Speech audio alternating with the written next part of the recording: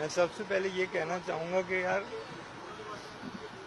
हम किसी अच्छे मुल्क में नहीं रहते यार। हम अच्छे मुल्क में नहीं रहते। यहाँ आप नहीं बचा सकते किसी मेरी बेटी ने बहुत हिम्मत की। लेकिन मेरी बेटी हार गई है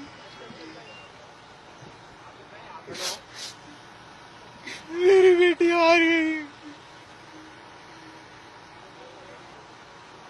शादी चलो मार लीजिए।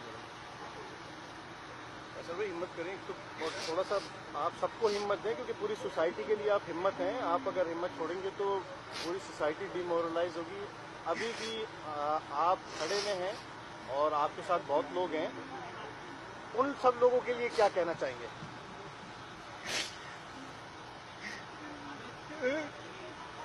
मैं मेरी बेटी चली गई है। मेरी बेटी चली गई। प्लीज़ मिलके कुछ खड़े हो, और जाके किसी और की बेटी ला जाए यार। वरना ये यूँ ही खबर बनती रहेगी, तस्वीरें खिंचती रहेगी, ऑफिशियल आके मिलते रहेंगे। होना कुछ नहीं है, होना कुछ नहीं है, होना कुछ नहीं है।